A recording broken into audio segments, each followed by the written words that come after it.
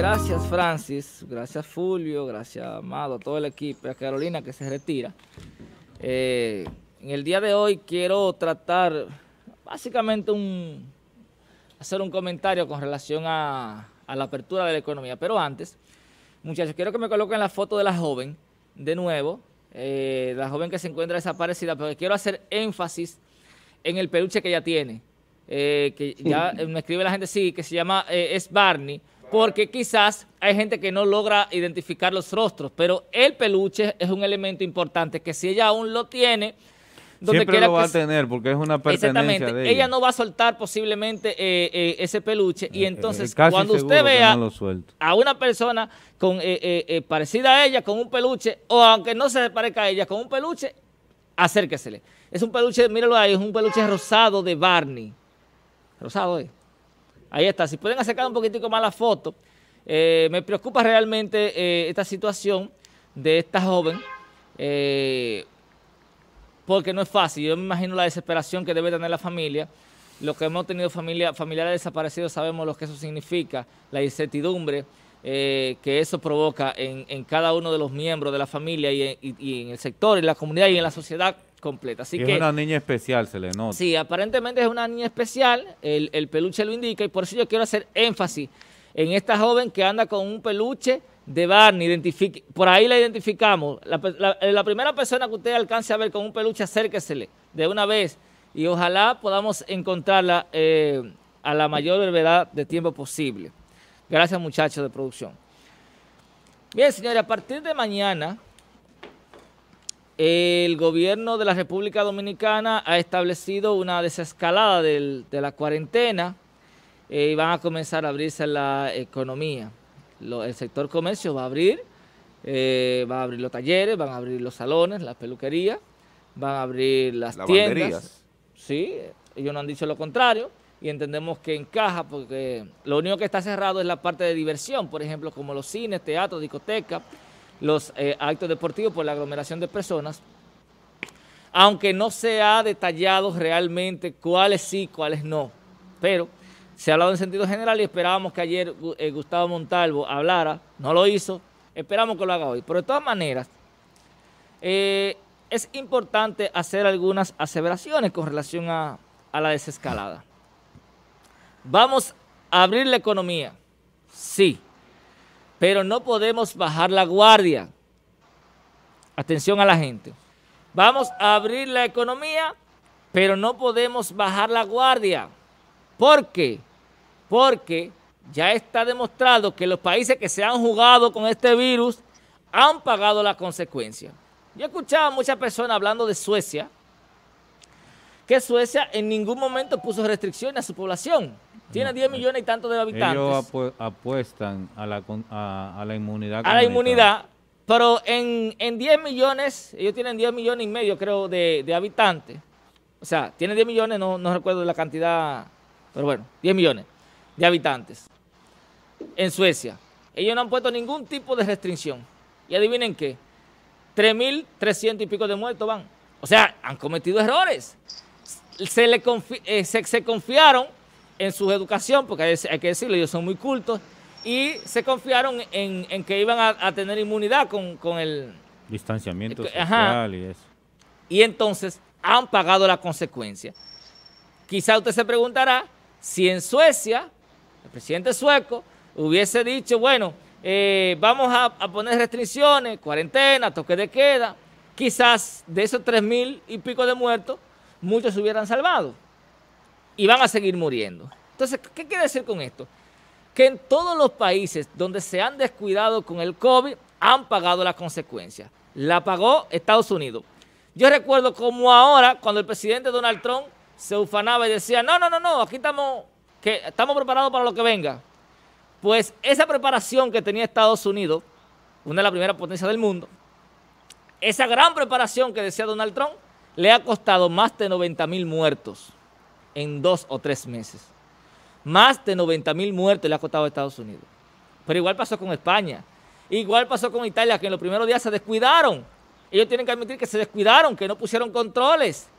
Y esa, ese descuido en Italia le ha costado más de 32 mil muertos, igual que en Reino Unido, más de 34 mil muertos, igual que en España, más de 27 mil muertos, en Francia, o sea,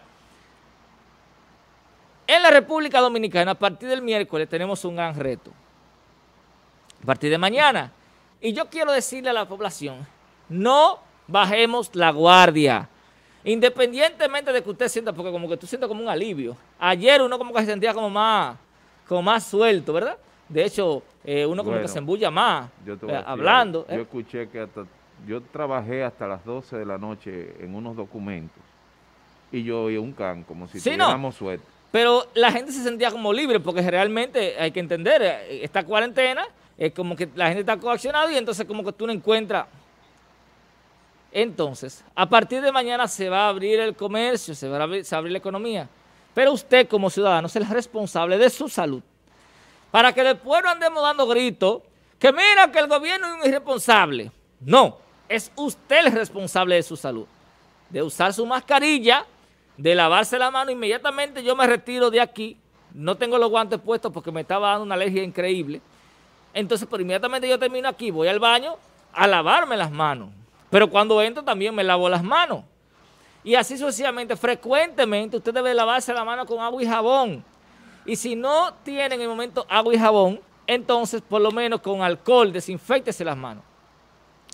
Pero igual cuando usted llega a su casa, continúe un protocolo de seguridad usted mismo, que vamos a tener que mantenerlo durante un buen tiempo. No bajemos la guardia. A veces tú vas a un lugar y hay una gente que, para hablar te tiene que quitarse la mascarilla. Hacen esto. Pero por Dios, usted yo lo estoy escuchando. Y hay un señor incluso que en una fila yo le dije, señor, escúchame, yo lo estoy escuchando, no, no tiene que retirarse la mascarilla, por favor. Entonces, con esto le estoy diciendo a la gente que no es francachela lo de mañana. No es que salgamos beber romo eh, eh, eh, de manera descontrolada para, para los colmadones. No, no es que andemos ya, que vamos al supermercado a comprar normal, como que no está pasando nada, sin mascarilla y sin nada. Entonces, esa desescalada, que es importante para la economía, no puede convertirse, eh, ¿verdad?, en, en, una tragedia para la República Dominicana. Y por eso estamos diciéndole a la gente que por favor, por favor, como se lo ha pedido el presidente, como se lo han pedido todas las instituciones, por favor, con responsabilidad con responsabilidad para que después no estemos llorando eh, más muertos. Tenemos una llamada, muchachos. Vamos a ver. Buenos días. Buenos días. Sí, buenos días. Adelante.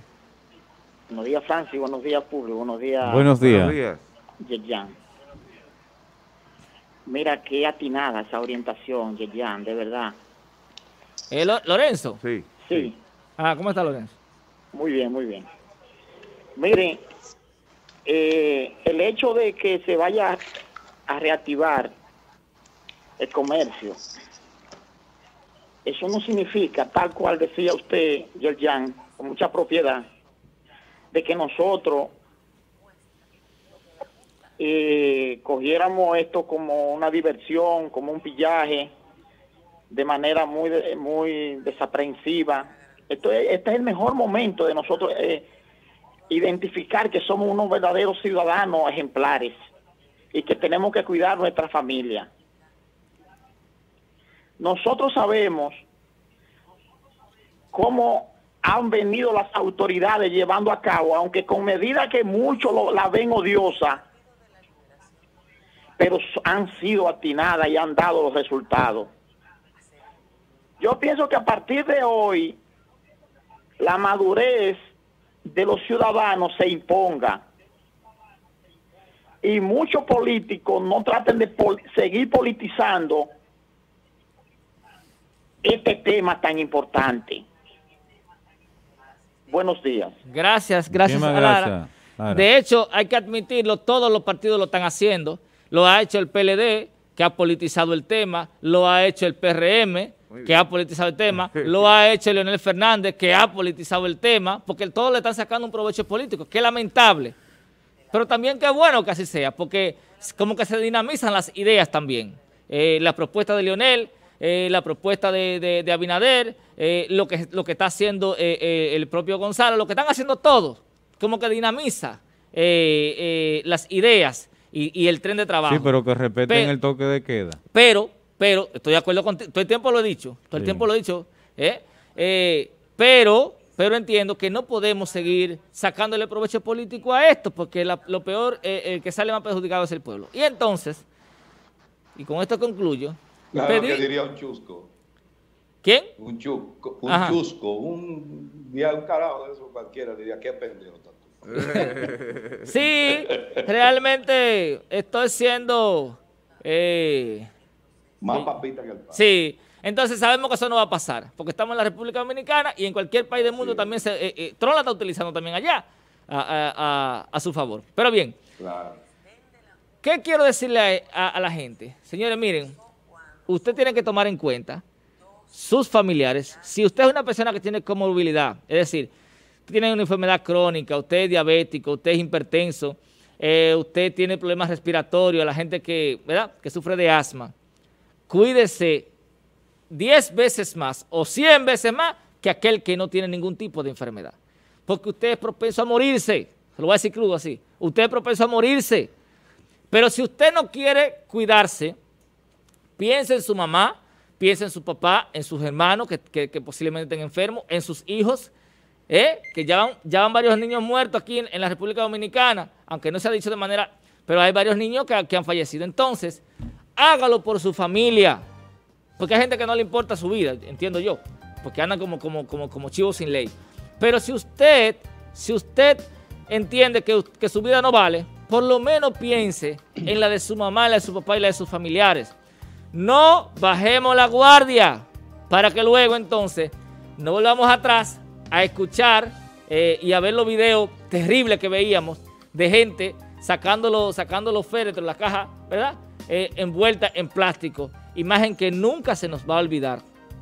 De ver cómo sacaban esos féretros de los centros médicos privados y del hospital envueltos en plástico eh, y, entierro de una sola gente, que la gente ni siquiera podía velar a, sus muertos. Cuídese.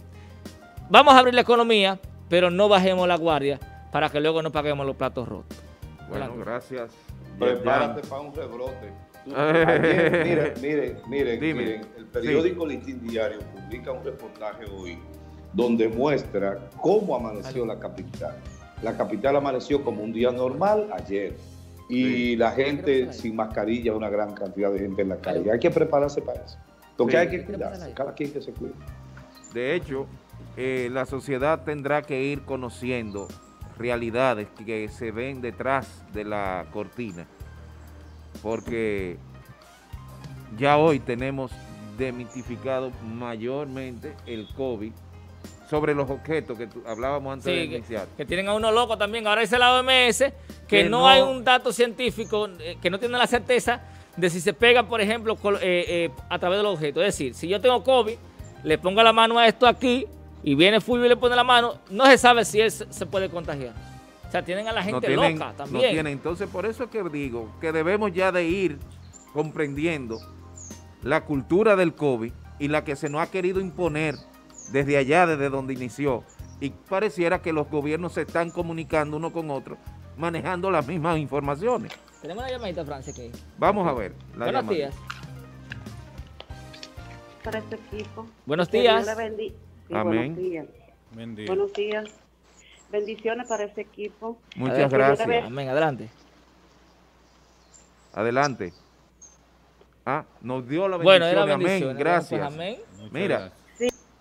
Ahí está. Esa palabra, sí, mi amor. Que Dios bendiga esa palabra que tú has dicho. Es verdad, andan gente como así, y entonces que está en la casa viene lo enferma. Eso es muy cierto.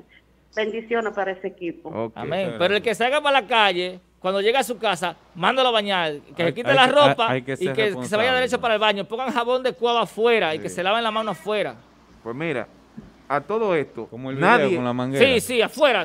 Nadie nos ha, nos ha indicado cómo utilizar el vehículo. ¿Qué hacer dentro de tu vehículo cuando tú te montas? ¿Eh? Yo no he visto ninguna indicación. es como si, no, como si solamente fuera cuando tú estás caminando está en el supermercado, está en el contacto. Hay que desinfectar la manilla de la puerta, Pero, los cambios, eh, el, el, el, guía. El guía. Bueno. Y si tú tienes otra persona... Y saber que ya no podemos estarnos pasando la mano a cada momento en la cara. Y los zapatos también, la suela. Es bueno tener desinfectante. Yo veo el carro como un ente contaminado. Bueno. Por ejemplo, cada vez que yo salgo del carro, me lavo las manos, me quito los zapatos, porque lo, entiendo como un ente que está contaminado por, la, yo entiendo, sí que debemos de ir perdiéndole eh, y conociéndolo más y manejarlo más cotidianamente para que no se nos convierta en una situación difícil. Porque si usted no ha estado en contacto en un, en un, centro médico, en un lugar donde haya alguien que tenga el COVID, y lo que ha ido es al supermercado, el supermercado posiblemente el piso o en los lugares, y por lo que he visto, ninguno de los supermercados ha tenido baja o ausencia de los mismos empleados, es decir, que no se un contacto. Que no se han enfermado, que es lo que creo de los supermercados, porque yo lo he ido preguntando y aquí nadie se ha enfermado.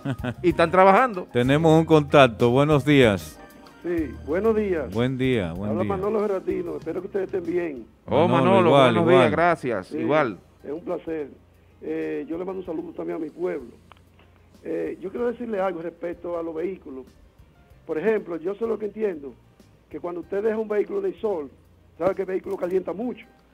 Yo entiendo que se higieniza, creo yo, porque caliente no va a aguantar el virus, según lo que lo estudio que hay. Segundo, yo entiendo que a nosotros, los dominicanos principalmente, porque estamos aquí, es lo que nos compete, no nos tiene que cuidar la autoridad, sea gobierno, sea quien sea, tenemos que cuidar nosotros mismos. Es nosotros que tenemos que cuidar. Y es lo que menos estamos haciendo. Te voy a decir por qué. Yo ando mucho por la, por la, por la ciudad.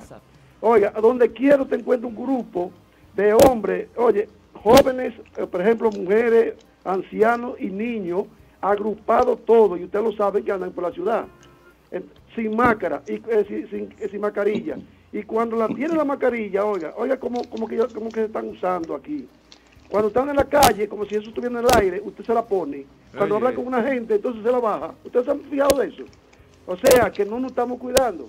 Ahora, con abrir mañana los negocios, que yo voy de acuerdo, porque imagínense, no es fácil tener un negocio cerrado, aquí va a haber un brote, que Dios nos cuide, porque aquí se está esperando un brote y lo que más le aconsejo a este pueblo de República Dominicana es que se cuide, porque hay mucha gente desaprensiva que no se está cuidando. Que pase buen día. Gracias, gracias, Manolo, así es. Bueno, tiene... Sí, hay unos cuantos WhatsApp aquí. Vamos a ver a Chino desde La Javiela en San Francisco. Dice, buenos días, saludos para todos ustedes y muy especial para mi querido amigo Amado, Amado amigo de mucho tiempo. Te saluda Chino desde La Javiela, Amado. ¿Y cómo es eso que, dice él que cómo es eso que no han subido la luz? Aquí llega, o sea, que